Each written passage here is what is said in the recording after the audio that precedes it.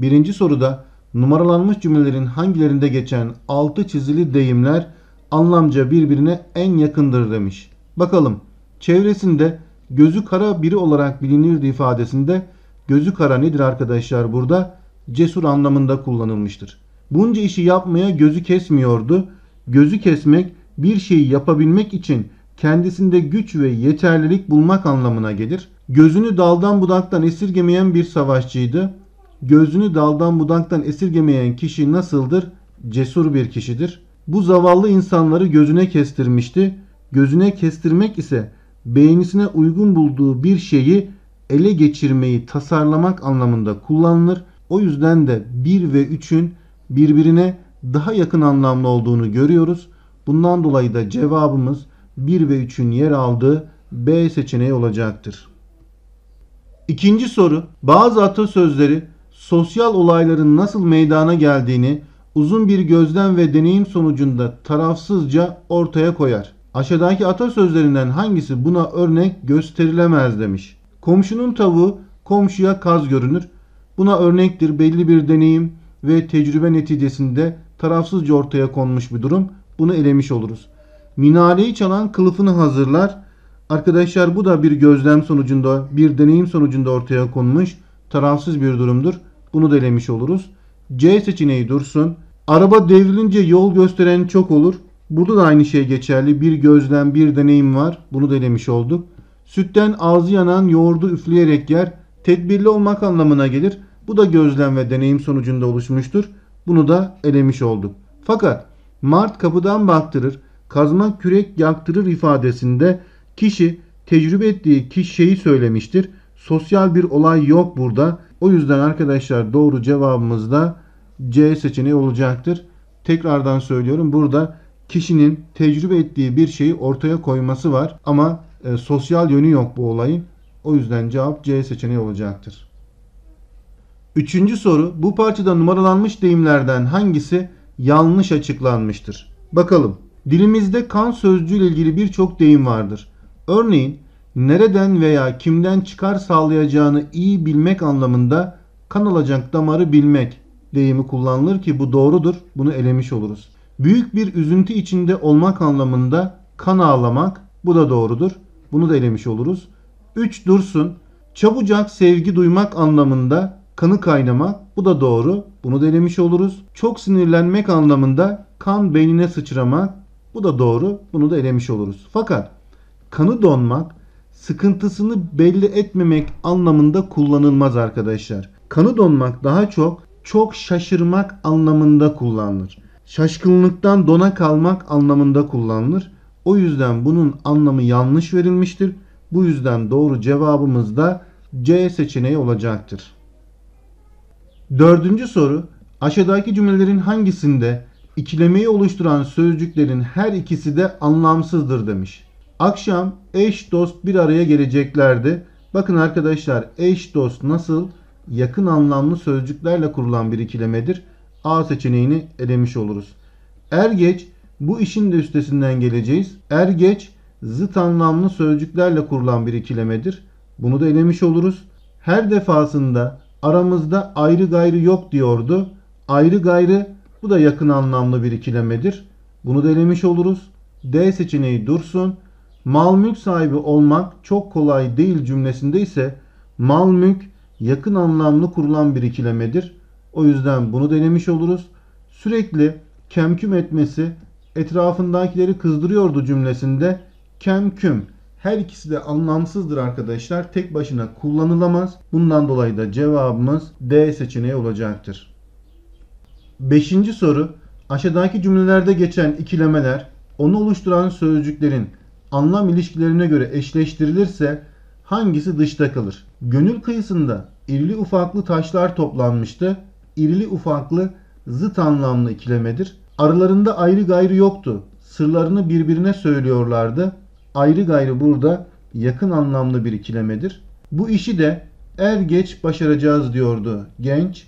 Er geç. Bu da arkadaşlar zıt anlamlı bir ikilemedir. Her konuda saçma sapan fikirler ortaya koyuyordu cümlesinde.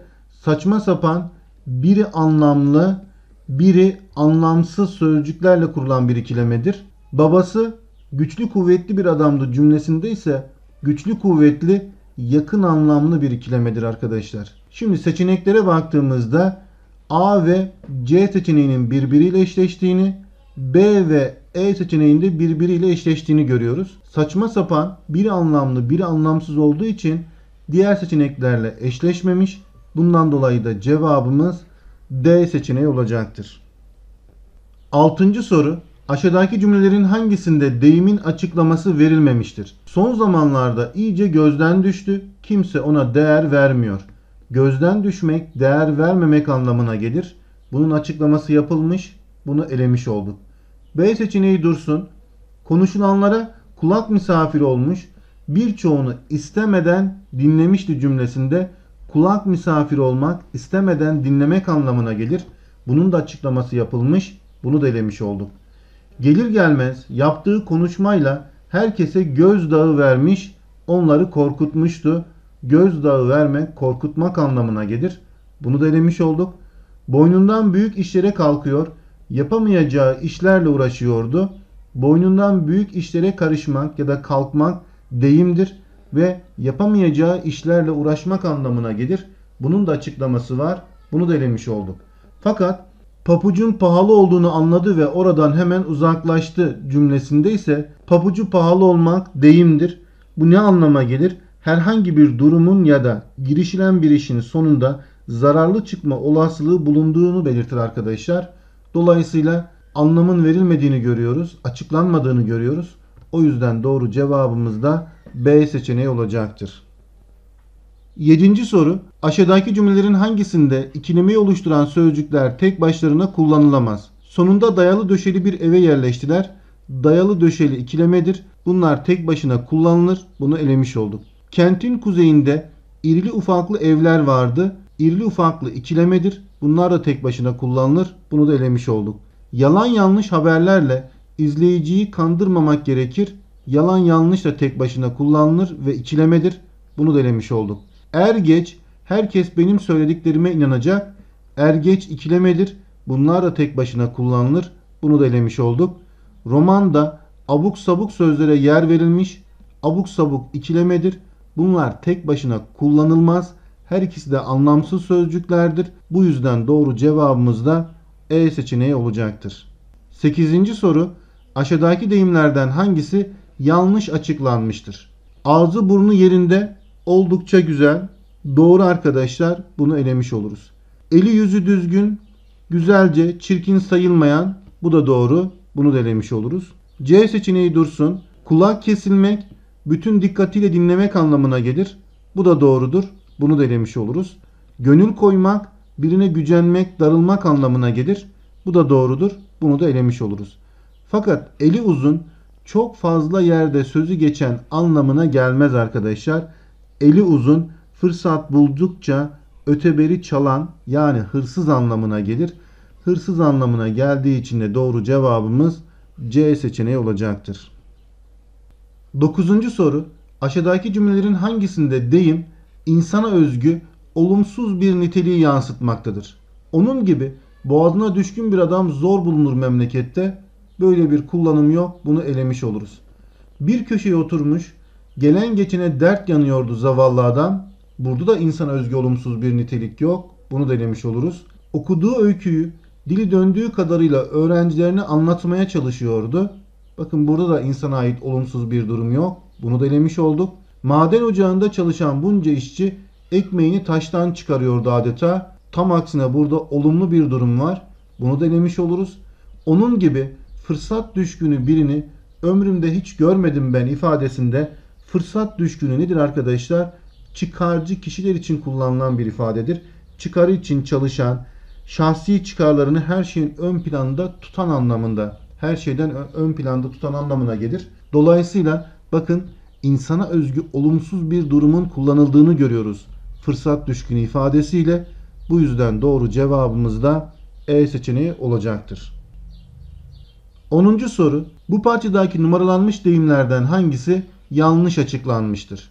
Birinin ölmesine ya da büyük bir zarar görmesine yol açmak için başını yemek deyimi kullanılır.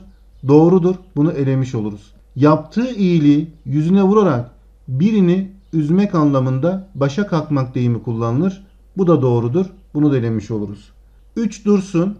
Birini felakete sürüklemek için belli etmeksizin plan hazırlamak için başına çorap örmek deyimi kullanılır. Bu da doğrudur. Bunu da elemiş oluruz. Karşısındakinin her sözünü onaylar davranışta bulunmayı ise baş sallamak deyimiyle ifade ederiz. Bu da doğrudur. Fakat başı göğe ermek arkadaşlar bir kimseyi dinlemeksizin kendi bildiğini yapmak için kullanılan bir deyim değildir. Başı göğe ermek deyimi yaraşık olmadığı bir şeyi elde ettiği için sevinip böbürlenmek yani kibirlenmek anlamına gelir. O yüzden bu ifadenin açıklaması yanlıştır. Bu deyim yanlış açıklanmıştır. Bu sebeple de doğru cevabımız C seçeneği olacaktır. 11. soru. Bu parçadaki numaralanmış deyimlerden hangilerinin açıklaması doğru verilmemiştir? Türkçede ayak sözcüğü ile ilgili pek çok deyim vardır. Örneğin birini çekiştirmek için ayağına ip takmak deyimi kullanılır. Doğrudur bu arkadaşlar. Bunu elemiş oluruz. Ayak diremek deyimi ise bir düşünceyi, bir davranışı sonuna kadar sürdürmek, kendi tutumundan şaşmamaktır. Yani kendi bildiğini yapmak anlamına gelir.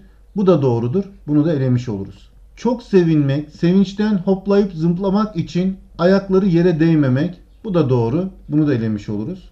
Ayağını sürmek deyimi ise bir yere gelirken uğursuzluk getirmek anlamındadır. Arkadaşlar ayağını sürmek deyimi bu anlama gelmez. Ayağını sürmek nedir? Bir yerden gitmek üzere bulunmak anlamına gelir. Ya da bir işi ağırdan almak ya da gidiş işini bir yerden uzaklaştırmayı geciktirmek anlamında kullanılan bir deyimdir. O yüzden bunun açıklaması yanlıştır. Bunu alabiliriz. Bir haberi duyunca sevinçten şaşıran biri için de ayakları üstünde durmak deyimi kullanılır demiş. Arkadaşlar bunun da açıklaması yanlıştır. Ayakları üstünde durmak bir haberi duyunca sevinçten şaşırmak anlamına gelmez. Ayakları üstünde durmak başkasının yardımına ihtiyaç duymadan güçlü bir biçimde sorunlarını çözebilmek ya da sorunları çözebilecek durumda olmak anlamlarına gelir. O yüzden 4 ve 5'in açıklamalarının yanlış olduğunu görüyoruz. Bu sebeple de doğru cevabımız B seçeneği olacaktır. Evet arkadaşlar bu testin de son sorusuna geldik. 12. soruya. 12. soruda bir kadının bir kimse ve özellikle bir yuva için çok büyük bir özveri göstermesi, büyük sıkıntılara katlanması, uzun bir süre çeşitli zorluklara göğüs germesi Türkçe'de nokta nokta deyimiyle anlatılır ki böylesine kısa ve güçlü bir anlatım ancak Türkçenin somutlaştırma eğilimi ve imge gücüyle açıklanabilir demiş. Bu açık bu cümlede boş bırakılan yere aşağıdaki deyimlerden hangisi getirilmelidir? Bakın arkadaşlar bir kadının özveride bulunması, büyük sıkıntılara katlanması ve uzun bir süre çeşitli zorluklara göğüs germesinden bahsediyor. Yani aslında bakarsanız genellikle annelerin yaptığı anneler için kullanılan saçını sübürke etmek deyimi var arkadaşlar.